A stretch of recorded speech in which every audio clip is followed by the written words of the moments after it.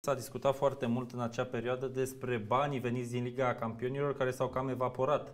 Uh, din punctul tău de vedere, dacă nu se dădeau aceste tunuri financiare la Galați, cât crezi că ar fi putut să trăiască clubul din banii de Liga Campionilor?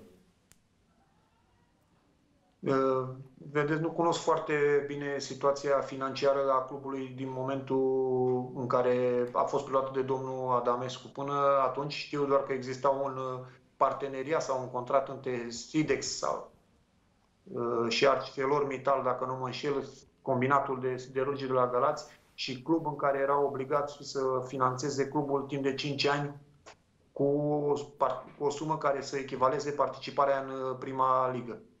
După, ceea ce s-a, după ce s-a câștigat acești bani din Liga Campionilor, nu știu exact care au fost traseul banilor, în afară de banii care au ajuns la noi și foarte mulți, și foarte mulți bani cheltuiți din ce știu pe protocoalele impuse de, de cei din Liga Campionilor. Restul nu știu unde și cum au ajuns decât uh, ceea ce știți dumneavoastră din presă. Păi, noi știm numai nasoale, mă scuzați de expresie, pentru că acum și tu probabil ești diplomat și nu vrei să ne dezvălui exact, dar au fost discuții multe în care a fost implicat până și domnul Mariu Stan și în ceea ce privește primăria și bănuiesc că ai habar ce a ajuns, unde, de ce s-a ajuns la acest declin.